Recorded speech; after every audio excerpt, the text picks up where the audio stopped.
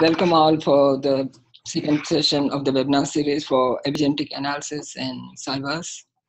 My name is Upendra Devishetty and I am your host for today's webinar. Today there's only one speaker uh, speaking on epigenetic analysis and so there's lots of opportunity to ask questions. So please, please uh, type in your questions in the chat box provided and the speaker will get back to you either in the middle of the presentation or at the end of uh, the presentation. As a reminder, this uh, webinar is being recorded and all the links including YouTube and MP4 files as well as the slides for this webinar will be provided to you all uh, within the next 24 hours. So without further ado, uh, let me uh, welcome Blake Joyce, who is the present presenter for today's webinar. Uh, Blake did his PhD in plant soil and insects at the University of Tennessee. Uh, he recently joined uh, Science Informatics team. Um, before that, he worked in COSI team for two, uh, two years. Um, Blake's background is primarily focused in plant molecular biology and biotechnology, with particular emphasis on pathway engineering and functional characterization. Uh, currently, is working on integrating the high throughput phenotyping with genetic and climatic data. Blake has taught several software carpentry courses and also several courses as adjunct professor. Today he'll be uh, showing some of those visualizations of the analysis that were done in webinar one in COSI. Uh, and again, I want to remind you that please type in your questions in the chat box provided and uh, Blake will be able to answer them as soon as uh, they are there. Um, Blake, whenever you're ready. Thank you, Pendra. Uh, so I'm happy to be here this morning. Uh, I'm looking forward to uh, showing you guys some new tools that we have and some old tools that we have for CoGe. Um, this was all built by uh, Jeff Grover, who is a graduate student um, that rotated through the CoGe group, and uh, with assistance from Matt Bomhoff. And so I am presenting it. Um, my job as a science informatician at CyVerse is kind of to um, explain the science to a lot of the computational scientists. And so we do also a lot of outreach uh, type things. This is going to be a live demo, um, so please do stop me at any time. This is not a lecture whatsoever. Um, put your chats into the chat screen there. Pendra will stop me, and I will look at the chat screen. All right. Let me see. Switch over.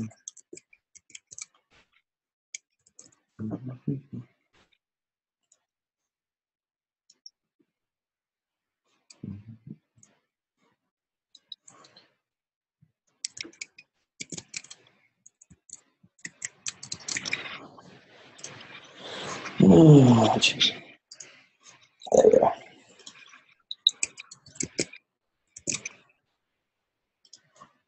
my screen you guys.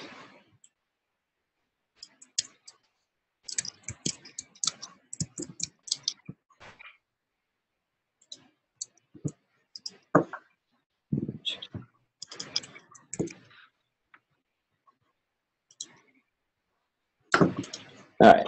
Can you guys see the Firefox? It'll say Zoom. All right. So this is the CoGe main page. Um, CoGe stands for Comparative Genomics. It's a web-based platform um, that actually has several tools. It's federated with the um, with CyVerse, and so it shares a lot of the back-end capabilities that CyVerse has, um, and has and adds new functionalities to uh, CyVerse uh, on the front end. So in general, there's a lot of uh, comparative genomics uh, tools. Uh, SynMap will allow you to, compare two entire genomes um, and look at areas of synteny between those. Um, and we may be able to talk a little bit about some of those tools. But really what we'd like to talk about today is how to pull data, pull data um, from the CyVerse data store and then actually move that into CoGe and uh, visualize it and some of the interesting things you can do in the JBrowse, uh, uh, CoGe's version of JBrowse. Um, so uh, I've signed in already. So I'm going to go to my data, and here this tracks. Uh, this is sort of a central point in CoGe for any user. When you sign in, it'll track uh, all of these, um, uh, all of your data. It'll also track all of your analyses. It will track um, data that is in, in the process of being loaded It'll track any uh, any metadata that you have associated with data um, and your actual base genomes and experiments. Uh, genomes are just going to be any uh, organism's genome that you've uploaded or has been shared with you. Experiments is what we call things that go on top of uh, genomes. Usually they're RNA-seq or their SNP, uh, SNP uh, tracks or their BAM alignments or something like that. So let's actually start off by bringing in a, a new experiment uh, from some methylation data. So what we can do, I'm going to name it test. Here you, you put a version. Um, if you're pulling this from a canonical res, uh, resource like NCBI or something like that, the version number will match to their versioning number. And then we always put in our source. So in this case, it is NCBI. And we're going to work with uh, an Arabidopsis thaliana data set that we have. And it's actually Columbia. There we go. So once we've selected the genome, uh, we can actually load data on top of that genome. When you move, uh, when you do next, it'll take you to the data tab. And now you're looking at ways that you can pull data into CoGe. So um, last week, uh, the, everything that was done was done the, in the Cyverse uh, data store and in the discovery environment. And um, so here, there's a lot of um, different, you know, all my different data and all of uh, different folders that I have. But um, there's a CoGe underscore. This all is sitting in the CoGe underscore on your uh, data store. So let me show you that real quick.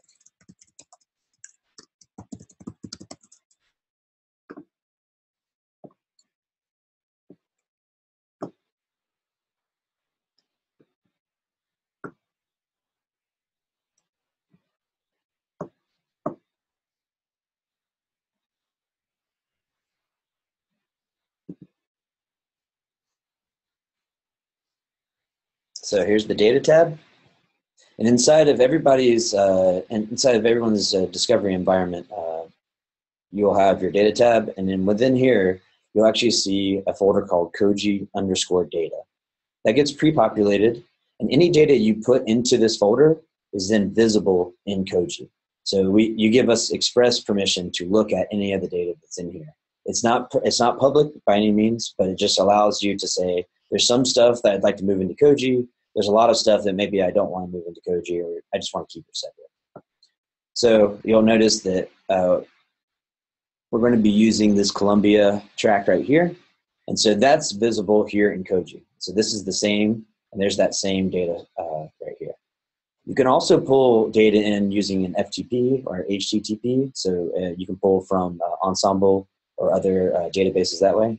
You can do a local upload um, here just from your computer, and we actually have tracks into uh, the SRA at NCBI that allows you to pull information from there as well. So here's the name of the file I'm going to pull in. And you'll notice that it's actually gzipped. That is that it's been kind of uh, compressed or archived. CoGe will automatically recognize that and uncompress it when it starts to run. But here we're just going to tell it that it's a FASTQ, which is, you can tell from this end here. And then if you hit next, we're going to see all the different options that are available for FASTQ formats. You can tell it if it's single in or paired in. Um, you can trim the file, so you can actually upload raw, raw untrimmed uh, data, and then cutadapt or Trim Galore. CoGe will actually trim these. If you have already trimmed it yourself, then you just hit none. These haven't been trimmed, so we'll go ahead and use this. Um, it actually will select and um, do an alignment so you can we uh, auto populate uh, GSNAP, but we have bowtie, TopHat two, HiSat two, but these are the two important ones for methylation data: Bismark and BWA Meth. Bismark is one of the more popular tools available um, in the community. So this was the first one that was integrated. BWA Meth is also pretty popular, so that was later uh, added. So here's Bismark it auto-populates, and now CoGe knows that you're uploading methylation data and not just raw sequencing from a transcriptome or something like this. Then you can actually have these other uh, analyses run in the pipeline. If you want to do an expression analysis, you just click Enable. There's options here that you're going, that you can change. We have documentation for each of these options, and I'll show you that here in just a little bit after we uh, started running this. You can also identify SNPs, so we're going to go ahead and do that. Of this, we have an in-house, uh, very naive SNP identification tool, but we also have SAMtools and Platypus, which are also uh, very popular. And then here is the actual methylation um, uh, analysis. So we're going to enable that. Um, there's a few uh, options here, but really the most important would be to deduplicate. This will remove anything uh, from PCR reactions that are sort of artifacts from those PCR reactions. Um, it, it runs one of the uh, Bismark tools to remove that duplication. and then uh, there's other options, but one of the most interesting options and probably useful for doing organization is this idea of a notebook. CoGe has a way of organizing um, notebooks, uh, organizing genomes and your experiments all together in named notebooks. So if you have a big project that has, I don't know, 10 genomes and 100 experiments, you can keep them all together and then share that notebook with your collaborators or make it public and it becomes very easy to access all that information in one place. So in this case, I haven't done any work yet. We're just now uploading a, a, the first piece of data.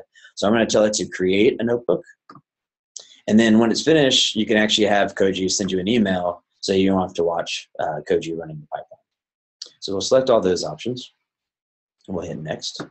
And the very last is to actually look over here and do review and submit. And it's always nice just kind of look through and make sure that everything makes sense. And then we're just going to press start. So everything starts to run automatically at that. This is a completely automatic, uh, automatic pipeline once you hit start um, you'll notice that it's doing a lot of different steps. And as uh, as CoGe runs them, it'll it'll go from running to completed. You can actually get back to these analyses by using this unique URL. So just for argument's sake, we'll go ahead and open that up. And so here you can actually share this with uh, with your collaborators or your boss or otherwise, and say, hey, this is analysis running. Uh, we can check back on it whenever. If you're signed in up here at the top right and you're with your Cyverse credentials, you can actually close this and you can find that analysis running right here in the data loading. So here's that load experiment, our methylation test. Hey Blake, I have a question. Okay, great. So uh, the question is like, if you don't save the URL, how do you check back on the analysis? Okay, uh, yeah, that's this that's this section right here. So uh, this panel right here underneath activity, it'll actually track, CoGe will track your analyses and any of the data you're loading. So here is that experiment loading right here. So if you close the if you close that um, web page uh, without actually recording that, all you have to do is double click there, and here we are back at our analysis. Does that answer the question? Yeah, thanks. All right, great. And you can see that uh, the first two steps have already completed, and this is going to run. Um, on average, depending on your uh, data size, this will run for several hours. Um, one of the largest data sets that we've tested was a paired in data set. It was um, 100 gigabytes in total. It was some maize uh, data sets, and it ran for about 18 hours. So that's the very longest run that we've ever seen, or, or have benchmarked anyway. Um, but for 100 gigs, that's not so bad, I think. Um, so while this is loading, I'm actually going to move on and show you some of the other things that CoGe can do.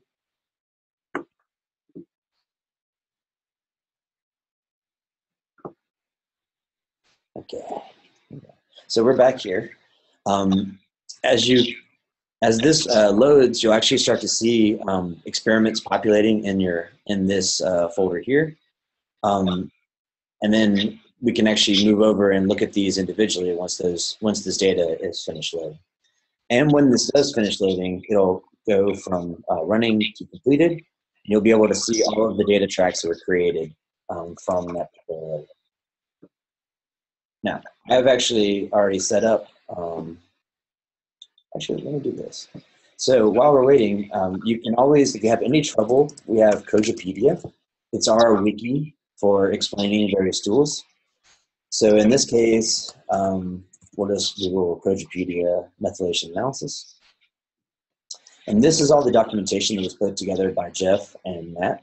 And it goes through in detail of kind of a general overview of what this pipeline does and won't do. Um, it gives you some insight into any requirements for your data. So for instance, your data name needs to be named in a particular way, um, R1, R2, or 1 and 2 at the end, if it's a paired set of files. And then it actually will explain the workflow and all of the options that we saw earlier. So if you ever have questions, you can come here to CoGepedia and look at these explanations. If that doesn't uh, actually answer your questions, we have a link to uh, Bismark, the source document uh, documentation. And if that doesn't answer your question, you can email CoGe. Um, you can email CoGe help underneath contact us right here. And here's all of our names. Here's me, still there. And you can uh, you can email CoGe help here and uh, get reach you know outreach. Um, you reach out to us to ask questions about any of these things. So that's our documentation. We also have documentation in general for um, load experiment. That was that was the uh, pipeline that we were using. So the methylation uh, pipeline is actually part of this overall uh, load experiment.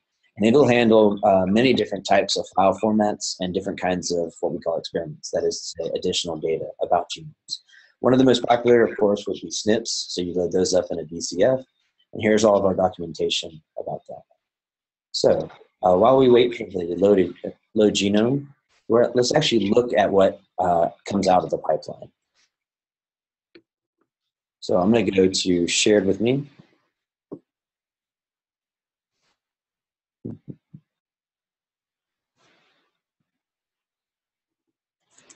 And I'm going to search for Arabidopsis. And so here's some uh, sequencing um, that was shared with me. You'll, you'll notice that there's a lot of different experiments. And this is the actual, what the experiment looks like. There's a lot of information here, but we, we believe that more information is always better. Right? So at first, this is the info that we loaded up when we were loading the experiment. CoGe assigns a unique ID, so that you can always go back and find that. Um, it gives us the name that you have here and all the other information that you've input. But there's also a way of uploading metadata, such as citations and otherwise, um, onto CoGe. You can either do it by hand or there's a bulk loader as well. And if you guys are interested in that, I'm happy to show you that uh, later on. But if we click Browse, that's going to take us to JBrowse, where we can actually see all of this data and the experiments.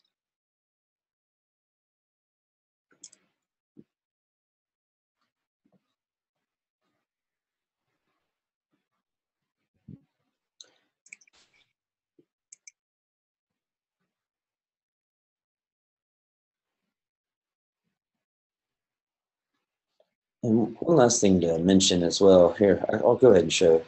Underneath the metadata tag here, back at your main page uh, where you signed in, um, you can actually see all of your experiments and all the different types of um, metadata that you've loaded up. And then these are all searchable as well um, using our search tool. Okay, so this is the experiment. Over here on the right, this is a standard uh, JBrowse um, layout. We have uh, CDS that's visible. You can see the sequence if you'd like to. I'm just going to show the CDS for now. And we can see that there's, uh, here's all of our coding regions. And then here's the methylation data. But in this case, uh, it's turned up kind of pink. So we can actually change those colors to be a little bit more visible. I'm from Georgia, so I'll go with dark red. There we go. So now these are a little bit more visible. Um, you can also really the power of CoGe is that you can start to look at your data, but also compare it across many different kinds of data and see interactions between data, which can be kind of difficult in other, uh, in other assessment pipelines. So for instance, here's methylation data that we have from Arabidopsis, but what if we wanted to compare that to, let's say, SNPs, to see how SNPs are interfering? Here's all the SNPs that are associated with this particular genome, Arabidopsis thaliana. And we can go down here and let's see. I like Bach. So we can actually visualize all of these uh, different SNPs. But we can also uh, search through these SNPs or search through this data to see uh, all the different kinds. So um, we and to compare them as well. So we can find SNPs that are just in the CDS. Perhaps we're only interested in, in ones in the CDS. And CoGe will actually go through and filter out anything and create a new track that any of the SNPs that are not in the CDS.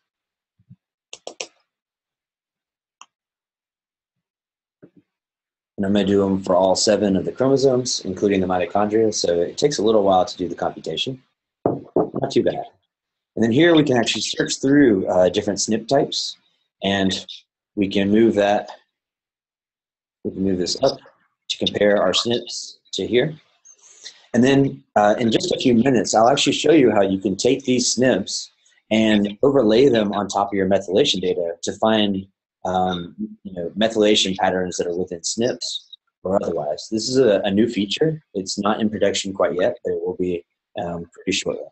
And actually, any of these marker tracks you can compare to quantitative tracks, just dragging and dropping them on top of each other and asking for the intersection of those two or otherwise. And also in the SNPs, uh, we have this ability to, to skip through them in case that, you know, you, some of these uh, can be really uh, sparse. So instead of, like here, you don't see any SNPs in this particular view. So in many genome browsers, uh, you have to actually search around for the next SNP of interest. Here, you just use that find, and it will take you to the next one by using these arrows. And so that becomes very useful. You can also search for gene names or any of the feature names and jump to genes of interest. So for instance, ATG1.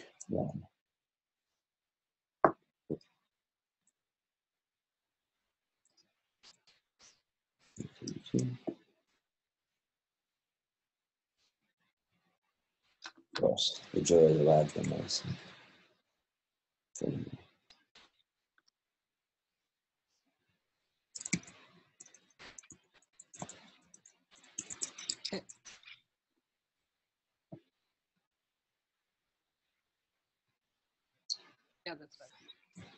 You have a question? Uh, no, I mean, uh, if you want an example, I have it here. Example of the gene you want to look at it. Okay.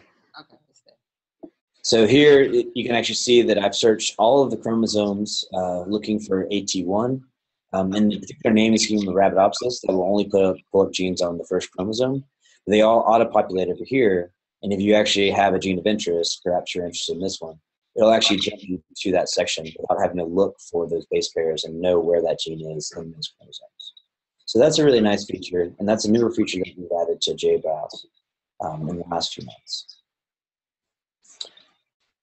So actually, while we're thinking about it, let me uh, go over to our development server. So this is uh, our development, but I will show you that one um, there's two new features because it starts to allow you to actually do interactive um, analyses.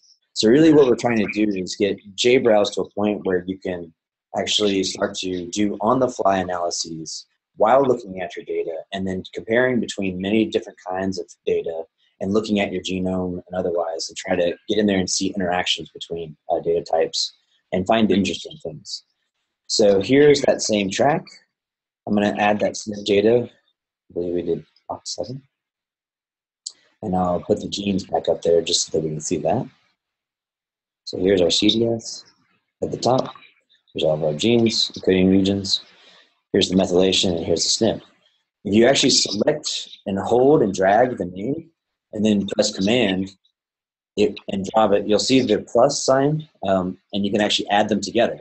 And so here, uh, CoGe will actually find the intersection of these two data types and you can choose for all of the chromosomes, or you can just choose for any one of them. I'll just do, let's do all of them. See how fast it calculates. Mm-hmm. Yeah. So what it's doing now is it's actually taking this track and it's finding any times that the SNPs from this track match up to the base pair here um, in the methylation track. And you'll see that that brings it down to just the ones that are in those SNPs. So you can start to investigate interesting parts of biology. Perhaps SNPs affect methylation patterns. And here you can actually start to look and see exactly where they are and find genes of interest and see how those um, you know, interact. And because you can scroll through the hits over here, you can actually um, you know, move all the way to the end and see each one of these, and you don't have to hunt and search for them. So these are some of the new ones. You can also take uh, methylation tracks, uh, which are quantitative tracks, and you can actually change them into um, oh, sorry. You can actually change them into marker tracks if you want to bulk together regions of your methylation data. So in that case, what we're going to do is we're going to search, and this is also a really new feature that uh, we've added to JBrowse. This is now looking across the whole track, um, the whole methylation data track, and it's seeing all of the different uh, quantities that are associated with all that data, and then giving you a histogram. So perhaps you're interested in areas of really low methylation, or maybe you're interested in high methylation areas. You can actually filter that by just selecting the graph, or if there's strict requirements or cutoffs, you can add them here. You can also do min and max. So in this case, we'll just create a track by searching these uh, these uh, lower this lower section. And that will generate a whole new track with those um, requirements and put a new track that's down here. And of course, with this new track, you can also do these intersections like we've done before, and we uh, you can also uh, move them around and, and, play with them as I've already shown. So here's the intersection that we created. I'm just going to go ahead and get rid of this. Here is that range that we created. So now we've only found sections that have that low methylation pattern. We can zoom in to actually see these areas. So here they are. But then we can actually change uh, this track into a marker track. So you may be interested, so you can save it as a quantitative track and keep that forever and put it into a notebook by adding it to a notebook here.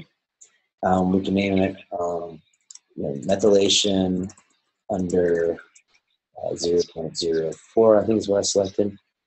Then here, if you save this as a marker track, you can actually bulk them together as I was talking about. So here, if you put in 100 base pairs, it'll take any of those methylation um, uh, calls within 100 base pairs of each other and actually create one long marker, let's say. so this way you can visualize areas or create regions uh, of your genome that actually have that methylation pattern. So we'll press execute. So basically what it does is it creates a whole new experiment and it'll save that as a marker and then uh, you know represent it as those long rectangle markers.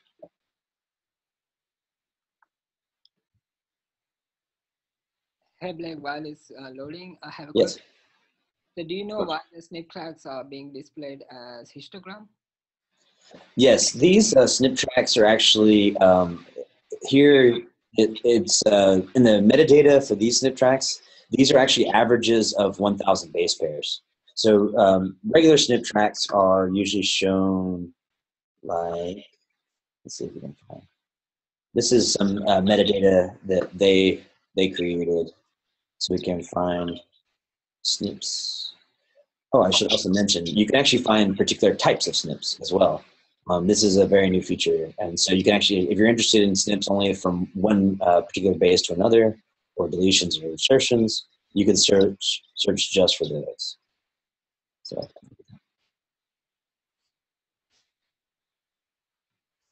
Then we can zoom in.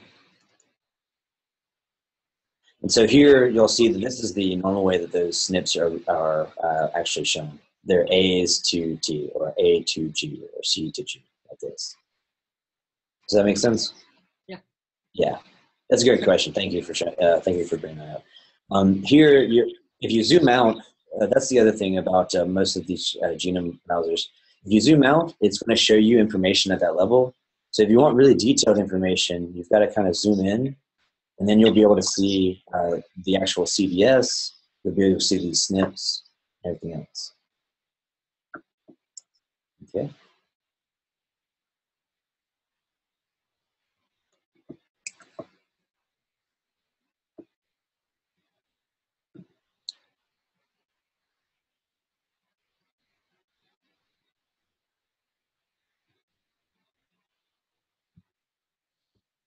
So here you can see the introns and the uh, exons uh, of the CDS, and then here's the SNPs within that. If you zoom in far enough, you'll actually start to see the base pairs if you uh, add the sequence track. Yeah. So this is the, the methylation rendering, that marker that we created a, a few minutes ago. And here, this section had many sections within 100 base pairs that were methylated underneath that region research. So now you're actually starting to do sort of data discovery on the fly, um, and you know, kind of finding interesting patterns or looking at interesting sections of your data, and actually cross comparing between sequence, uh, SNPs, um, and otherwise. Right. So those are our new features. That is um, that is our uh, JBrowse and how it stands. We're always looking for new suggestions um, or insights into uh, new tools or useful things to add to either JBrowse or to CoGe whole. Um, just to back up, let me show you a few of these tools. Um, again, uh, the SynMap is one of our more popular tools. It'll compare two entire uh, genomes to each other. And actually, I'll show you an output. And then show areas of synteny and something that you can do sort of whole, uh, whole genome comparisons.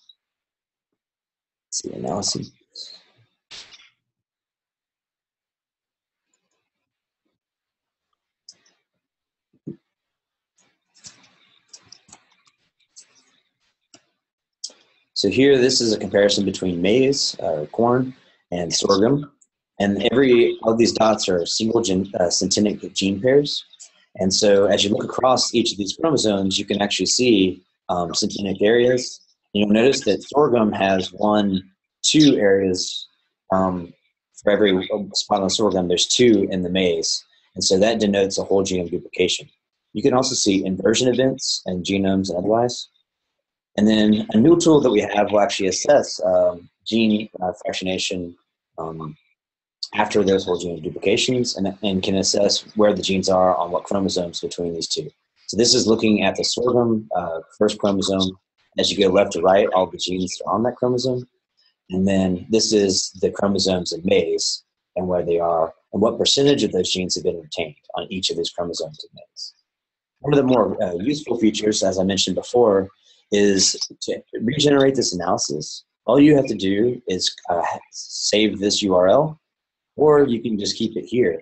But perhaps one of the most useful things to do with this URL is to copy it and paste it into publications. And that way, reviewers or anyone in the future can actually come back to this exact analysis and see how you rank it. And they can look through all of your analysis, and they can see all your display options, and they can see which versions of the genome that you've used, um, and so basically that creates a highly reproducible analysis that you know will be saved in perpetuity. These unique URLs get saved in CoGe um, for as long as CoGe exists and the internet exists. Okay. Um, in addition to, sir? Uh, can you talk a little bit about how notebooks work in CoGe? Yes, that's a great idea. So we have a notebook section here you can create notebooks inside of those analyses, uh, as I showed you earlier. But actually, if you want to create one beforehand, um, we'll call this methylation test notebook. And you can give descriptions for your collaborators or for yourself in a year or two. And we can create a notebook. And that will actually register here in the notebook tab in the in your My Data. And if you open that up, you can see uh, the, the notebook outlay For now this is restricted, but I could actually uh, share this or even make it public. So in this case, I'm actually going to make it public, and that will register. And here you'll see that it's not restricted anymore. And so now anything that I put into this notebook is then uh, viewable, or anything within the notebook that is viewable by the public is also viewable um, in this notebook. So you can actually keep private data inside of the notebook, make the notebook public, and only the public data within that notebook will be visible. And so that, that's it. That's kind of um, we always want to make sure that you expressly tell us what to make public, and we have redundancy so that you don't accidentally make something public that you don't want to be public. You can add contents. So there's stuff. My stuff is going to be anything in your my data, and it's all searchable.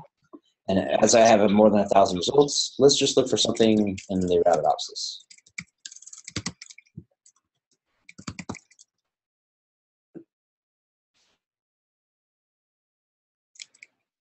Oh, yeah.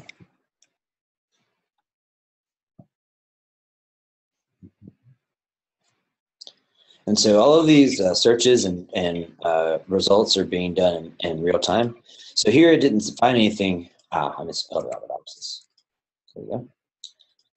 And so this is the speed of analysis. This isn't uh, re- recorded pre- previously. And so this is sort of uh, at the speed of uh, being able to come in here and start to play around with your data and investigate it kind of in real time. And that's sort of, that's really the main goal of CoGe or one of the main goals of CoGe.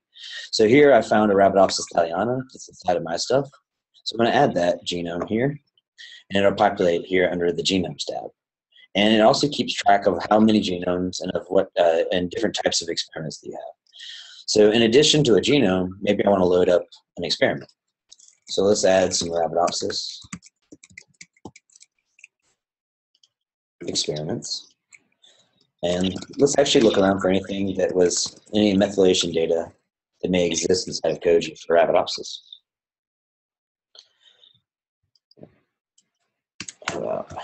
Just Arabidopsis thaliana. So really, uh, once you make uh, make your data public, you can now start to actually find other people's uh, experiments or genomes and start to bring those in.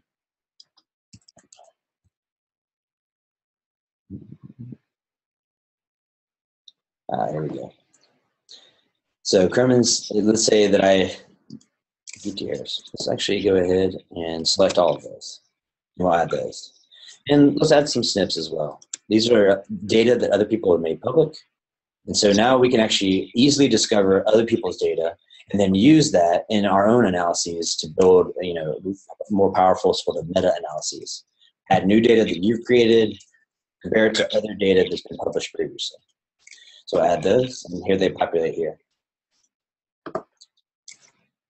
And here's all of the information about that data and who owns it, uh, who actually put it in, so this idea of provenance is really important.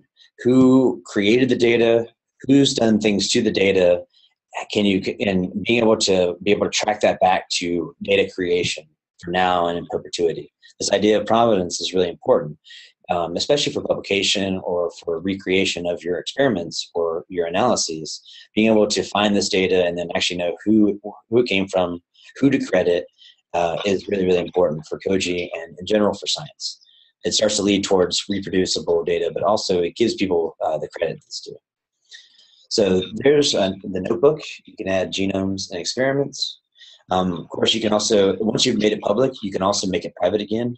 If for some reason you've added things in here that you don't want people to see, you just click that and it's easy to see that. You can also add metadata to this notebook. So in general, um, generally the way that I use notebooks is everything that I do for a single uh, publication goes into a, a single notebook. I add metadata to this notebook um, as I go along uh, about what is in the notebook, what kind of experiments are in the notebook. Um, you can add all that information here. Um, and then ultimately, I'll add publication, uh, publication information into this and then make it public. And so now anyone can discover this. All of their data is here. All the information about where to find it and publish is up here as, as well as all the biological information about the data is available here. And then they can actually find me uh, as I'm the owner of this notebook. And so you have this redis, yeah, this highly discoverable environment to find uh, data a year, two years, three years, four years, ten years from now. All right. So with that, that's some of the major uh, aspects of CoGe. Again, uh, this is running. This uh, pipeline is running still. These first few steps are actually the longest. So this, uh, I benchmarked this a few days ago. It takes about two hours for about 2.5 gigabytes uh, the, data that we uh, upload. So this is going to run and then send me an email uh, this weekend probably uh, when when it completes. Okay. So that's the major overview. If there's any questions, I'll be happy to take those now. Okay, so please go ahead and type in your questions and Blake will be here for the next 10, 15 minutes uh, for the questions to be answered. So.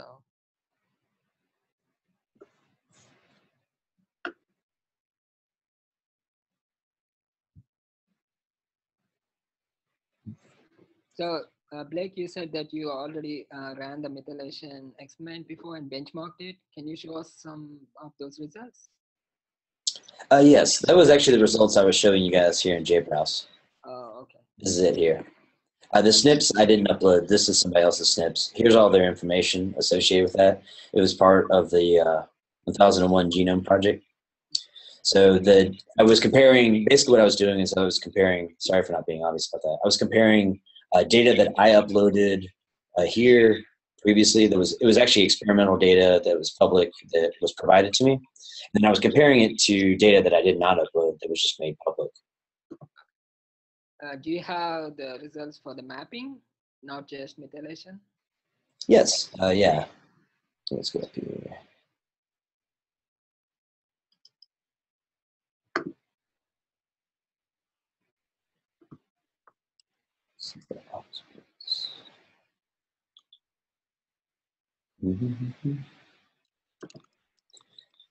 So you're just looking, you wanted to see the alignment?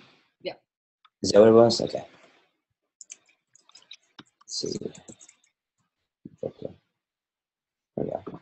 So uh, this isn't my alignment. This is somebody else's. But uh, oh, here, there we go.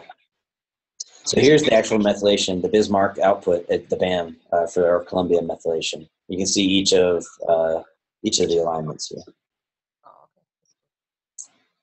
and those are also uh, searchable and discoverable if you have uh, one of particular interest.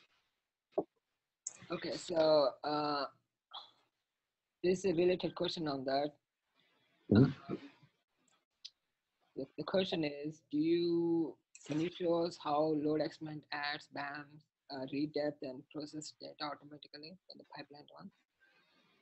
Uh, how it how it adds? yeah, Do you mean uh, in the pipeline itself? yeah, in the pipeline itself. Oh, like the the pipeline that's running. Yeah. Oh, okay. Yes. Sure. Can we see that real time or? Yes. Uh, the analysis being done real time. Mm-hmm. Uh, yes. Uh, when it when you go to data loading, you can you know as this is running, you can see when they complete in real time. So uh, trimming just got com- uh, completed.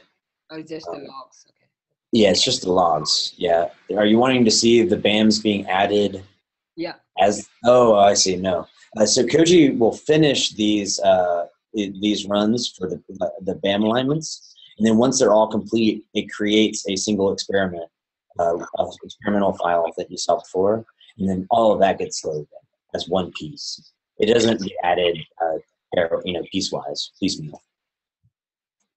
Okay, so Yeah. uh, there's another question. So does CoGe uh, can do gene set enrichment or pathway analysis? Are those features available in CoGe? Those are not. Um, so here's this is probably the most important thing that I will uh, that I should have showed you earlier. I forgot to. Any one of these tracks, you can save them and export them um, outside of CoGe. So this is that track. If you were interested in something about these tracks and you wanted to do other downstream analyses, you can save them to your local computer, or you can actually move them right back out to your CyVerse data store in that CoGe underscore data, right where we were before. And so that's this. This is really important as well for us because we do some things really well, but we don't do everything. So if you're looking to do uh, annotation or um, you know uh, network analysis or otherwise, we can we we want you to be able to move your data out seamlessly and take that to somewhere where you can actually do that data analysis that specializes in that particular kind of analysis. Maybe Cyber So- is the best place to do that because we have all the apps available in Cyber. So Yeah, exactly. So everything that's available in CyVerse, uh, it, you can easily move your data in and out of CoGe, and then do continue analyses in CyVerse or elsewhere for that matter. Um, and then you can bring that back to CoGe for visualization. and then you can bring it back to CoGe, exactly, uh, for visualization. And so, really, the idea is to create this ecosystem of operability, interoperability. Right? No one thing, no one platform, including ours, does everything perfectly. And so that's why we've connected it all together by CyVerse and in the data store to minimize how much you have to move.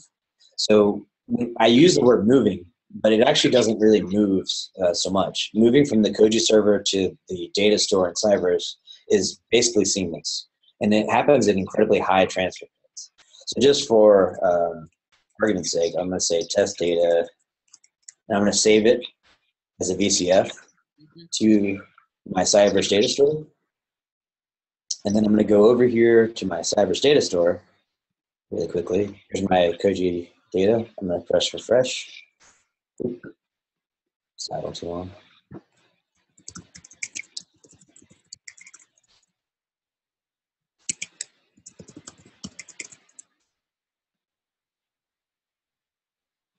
And then by the time this uh, logs in, it will already be in the data store. And so it happens blindingly fast. Uh, fast. Um, one of the things that we try to minimize is how much data you have to move over a Wi-Fi or over a hardline connection, because oftentimes that's the biggest wait step for doing these analyses. Let's see, there's my test data. It's already saved. Hmm. So you can upload and transfer uh, hundreds of gigabytes back and forth between CoGe and CyVerse fairly seamlessly and incredibly quickly. So when you move the data from CoGe to uh, Discover environment, do you get the notification similarly when you upload some files from your local computer? Uh, I don't think you do. I'm, I'm, I do not see a notification here. I would normally. That is a great pull request. I will look into that. Okay. Thank you. I also want to add that like we don't want to, I mean, because we won't, don't want to add those tools because we don't want to uh, duplicate the efforts since all those apps are available in Discover environment. So. Right. Yeah, and I, I should mention that one of the most powerful things um, about federating with CyVerse is that it uh, CyVerse does all of the um, the data management, the data infrastructure management. It does all of the login and security management. Um, and it basically allows uh, researchers to just get down to doing data analysis and visualization. And you don't have to, if you want to create a platform or create a database, you don't have to worry about security and you know all the underlying uh, processes. And so uh, that's one of the that's one of the great benefits. Um, in addition to you know very quick uh, data transfer between platforms, um, so federating with CyVerse allows you just not to have to worry about all the really low level um, stuff, and allows you to kind of just do the science and get down to the science really quickly. Okay. All right.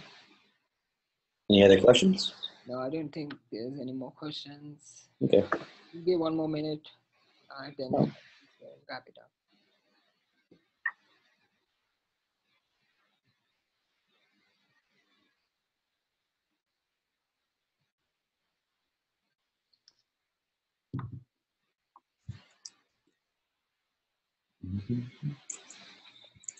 Okay, uh, I think we should wrap it up. So thank you again for all joining uh, for the two webinar series for epigenetic analysis in Discovery Environment. I hope you enjoyed our webinar series. Do check in our website for more interesting uh, webinars and the registration details are available on the main website. And as a reminder, this uh, webinar recording is already been done. Uh, the recording links, including the YouTube and MP4 files, if there's any uh, slides, they will be provided to you within the next 24 hours. Uh, so do check out for an email from me. So with that, I would like to thank Blake and the other speakers in the first webinar. Um, and thank you again for joining our webinar series. Uh, have a nice day and a great weekend. Thank you. Bye.